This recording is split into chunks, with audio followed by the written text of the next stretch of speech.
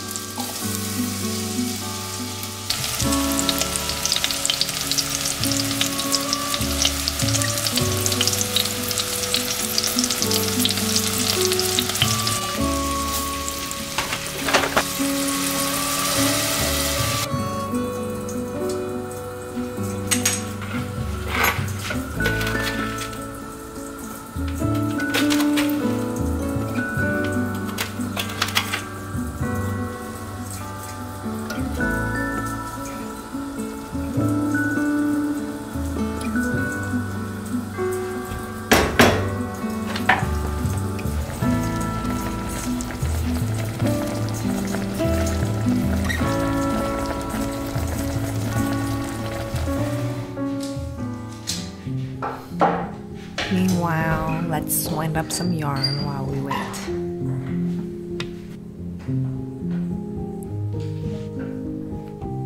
This is some handspun yarn. Spun from Nest Fibers. It's about 300 yards of DK weight 2 ply, which I've shown in a previous episode. I love watching the colors of hand dyed, hand spun arbor poly yarn motion. It's mesmerizing, isn't it?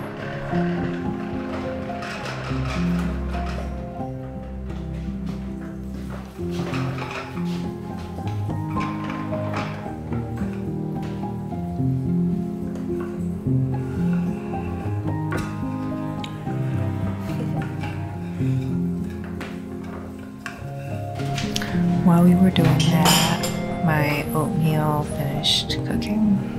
So it's time to eat breakfast.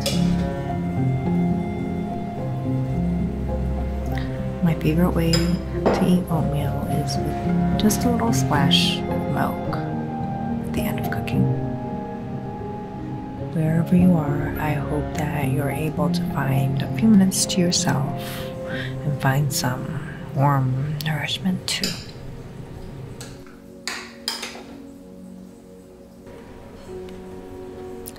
Okay, back to the yarn stuff now.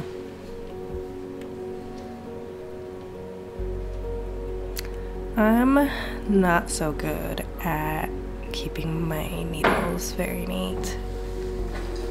So here I'm looking for the right size.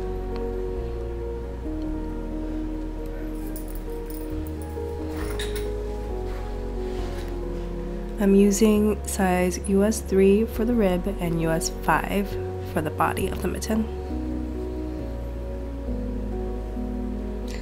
It's getting so so cold and Clara does not have mittens.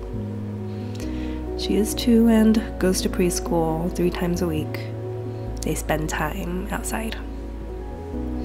So this year, mittens have become a must have.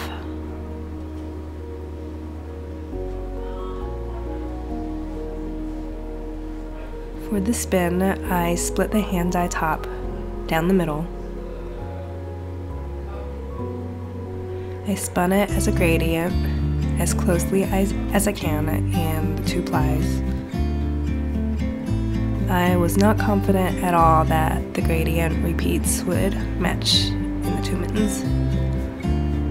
But with Precious hand spun, there wasn't much to do but keep going and not waste it.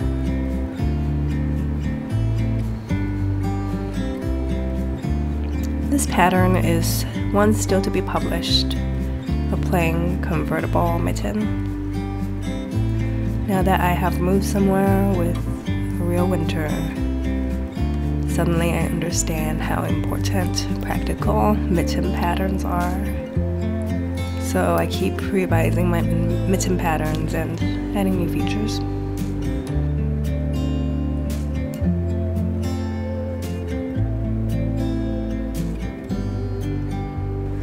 You can probably tell from some of my narration in this video, but I've been quite ill and my knitting mojo is just not what it was while I'm sick. Still, my little one needs this mitten, so I developed this pattern for her, and I'll be working on an adult version for it too.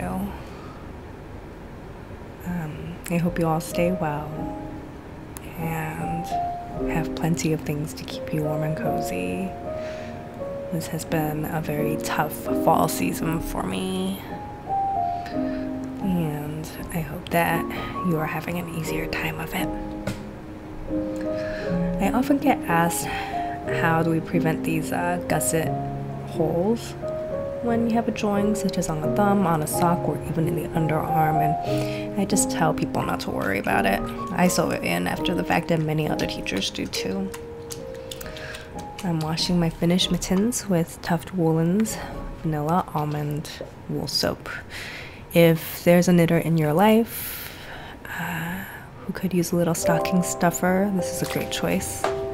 I get migraines from strong fragrances, but there's um, whatever they put in these soaps don't bother me at all. So it's a rare little scented treat, something I'm not usually able to have, and I'm grateful for that during this season.